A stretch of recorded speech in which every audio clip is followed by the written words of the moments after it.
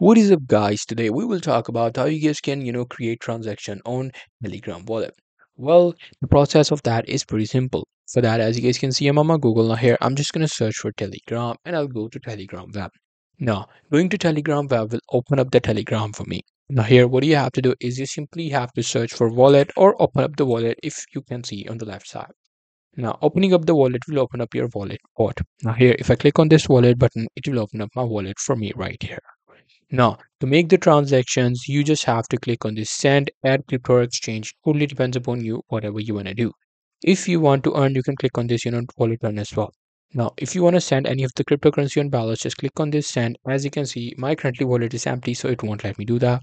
However, if you want to add crypto, click on this add crypto, and then you will be able to buy crypto using your bank card, P2P market, or external wallet. External wallet means that you have another wallet having cryptocurrency. You're just transferring it from external wallet to your uh, Telegram wallet. You just have to click on that and then select the cryptocurrency you want to receive, and it will give you the wallet address.